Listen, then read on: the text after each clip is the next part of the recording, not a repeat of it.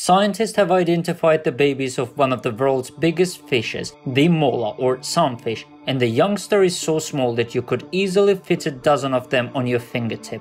Adult sunfish are the heaviest bony fish in the world, measuring up to 10 feet 3 meters long and weighing more than 4,400 pounds 2,000 kilograms. They are also bizarrely shaped. Adults resemble enormous flattened pancakes, topped by a massive dorsal fin like a shark's. Their bodies are unusually short and have no tail fin, as most fish do. Instead, some fish have a long structure at their rear end known as a clavus, which extends downward and resembles a boat's rudder. But mola babies are a different story. As larvae, they measure just a few millimeters in length, and their bodies look nothing like those of adults. Because of that, scientists struggle to match larvae with the correct species of mola, but for the first time, DNA sequencing identified the larvae of the bumphead sunfish. There are six sunfish species in the family Molidae.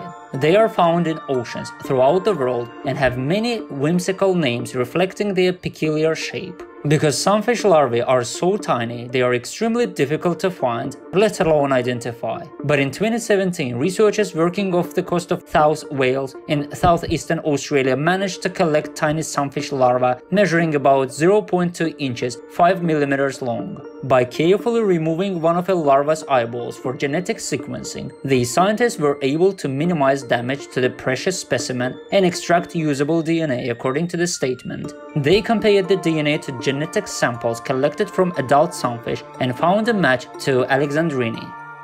Having identified this wee baby, a youngster that is about 600 times smaller than a full-grown sunfish, scientists can now compare the larva to unidentified mola larvae in the collections of the Australian Museum and the Commonwealth Scientific and Industrial Research Organisation in Hobart, Australia, to see if there are more matches, said Marianne Nyegaard, a research associate at the Auckland War Memorial Museum and one of the scientists who analyzed the tiny fish. In addition to the bumphead sunfish, four more species of sunfish live in waters around Australia. The oceanic sunfish, the hoodwinker sunfish, the point-tailed sunfish, and the slender sunfish. Further research into sunfish's bug-sized babies will help scientists piece together clues about early life for this group of unusual fish, Nyegaard said in a statement.